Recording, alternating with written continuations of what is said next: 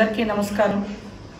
ఈరోజు అరవై రోజులుగా దాదాపుగా ఈ కరోనా సృష్టించిన క్రైసిస్లో ప్రభుత్వం తీసుకున్నటువంటి చర్యల మూలంగా ముందస్తు చర్యలు కానీ దీర్ఘకాలిక ఆలోచనలు కానీ లేకపోవడంతో లక్షలాది మంది ప్రజలు ఇబ్బందులు పడ్డటువంటి పరిస్థితి మనం చూసినాం.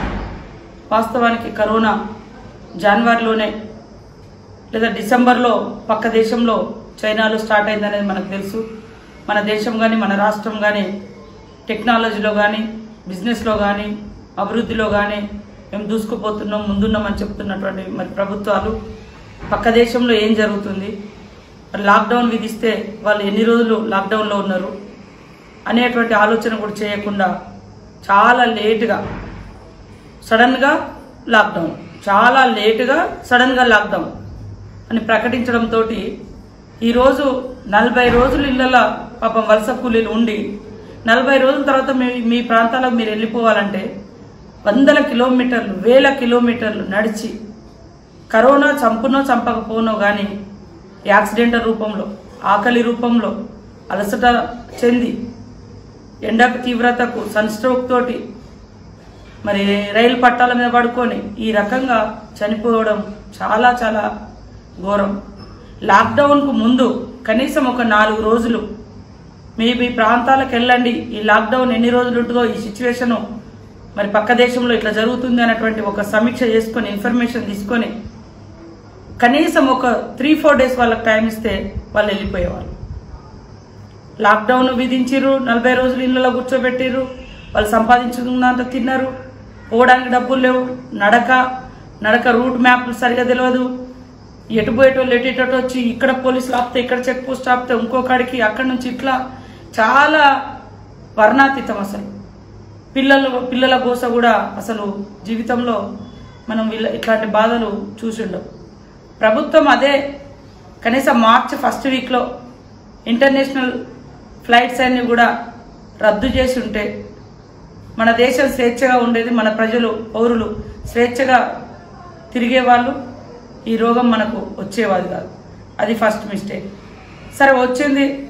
మరి జనతా కర్ఫ్యూ ఒక్కరోజే అన్నారు. దా ఆ జనతా కర్ఫ్యూ విధించే ముందు ఏముంది బయట? వాళ్ళ అనుభవాలు ఏంటి? వాళ్ళ పరిస్థితి ఏంటనేది కనుక కొంచెం తెలుసుకుంటే జనతా కర్ఫ్యూ కంటే అనుకున్నదా అనుకున్న టైంలో ఇరవై రెండో తారీఖు జనతా కర్ఫ్యూ జనతా కర్ఫ్యూ అనేది అయితే అన్నారో ఆ దానికంటే ముందు రోజు వరకు ఎక్కడో అక్కడ వెళ్ళిపోండి అని కనుక కనీసం పిలిపిస్తే వాళ్ళు సంపాదించుకున్న నాలుగు రూపాయలు ఛార్జీలకు ఉపయోగించుకొని కనీసం ఇళ్ళకు రైళ్ళ ద్వారానో బస్సుల ద్వారానో ట్రై లేదా ఫ్లైట్ల ద్వారానో వెళ్ళేవాళ్ళు.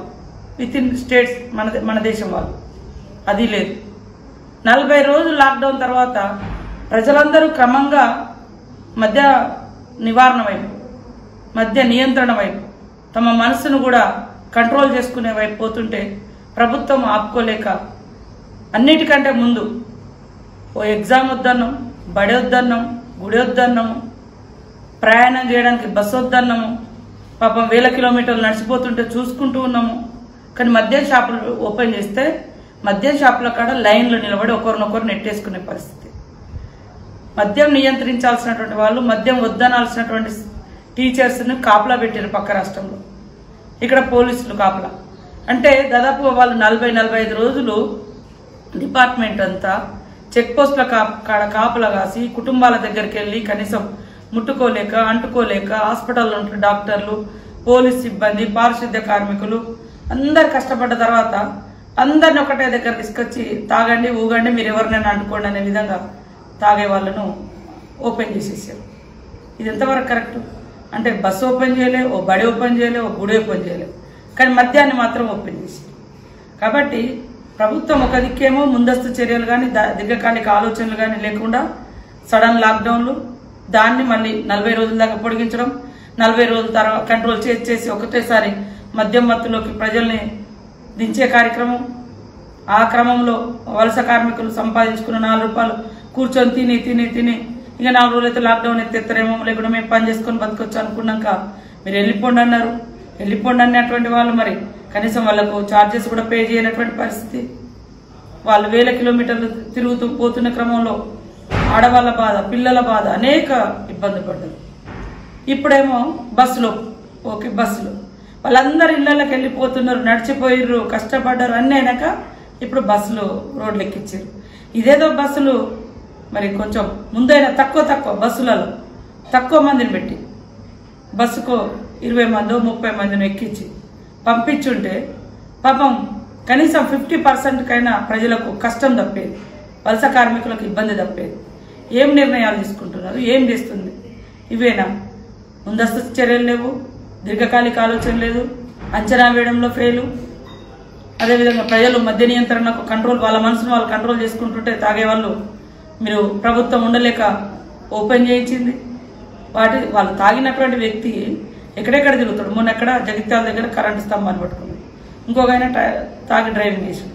అలాంటి వాళ్ళు తాగిన మత్తులో ఎవరిని ముట్టుకుంటున్నాడు? ఎవరిని అంటుకుంటున్నాడు ఎక్కడెక్కడ తిరుగుతున్నారు? ఏమన్నా మాస్కులు పెట్టుకోగలుగుతాడా? శుభ్రత ఉంటాడా?